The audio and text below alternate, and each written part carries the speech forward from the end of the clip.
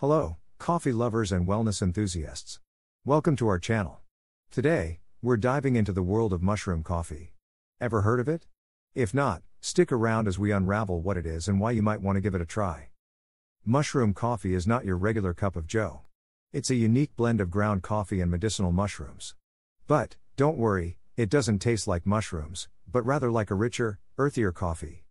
There are several types of medicinal mushrooms used, like reishi, known for its immune boosting properties, and cordyceps, famous for increasing energy levels. Making mushroom coffee is a simple process. The mushrooms are dried, ground into powder, and then mixed with ground coffee beans. It's brewed just like regular coffee. Now, let's talk health benefits.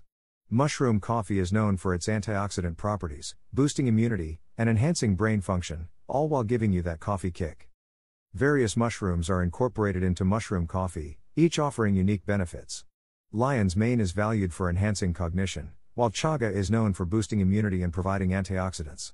Reishi offers calming effects, cordyceps is notable for improving athletic performance, and turkey tail is acclaimed for its immune boosting and potential anti cancer properties.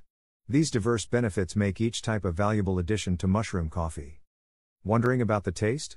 Many find mushroom coffee to be smoother and less acidic, making it a stomach friendly option. And, no, it won't make you hallucinate.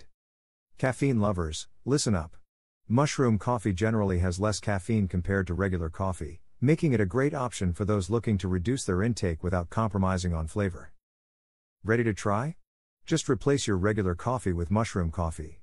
It's versatile, enjoy it black, with milk, or even in your favorite coffee based recipes. Thanks for joining our coffee journey. Explore our channel for more intriguing comparisons, insights, and a whole latte fun. Like, subscribe, and share your coffee stories with us. Until next time, stay brutiful.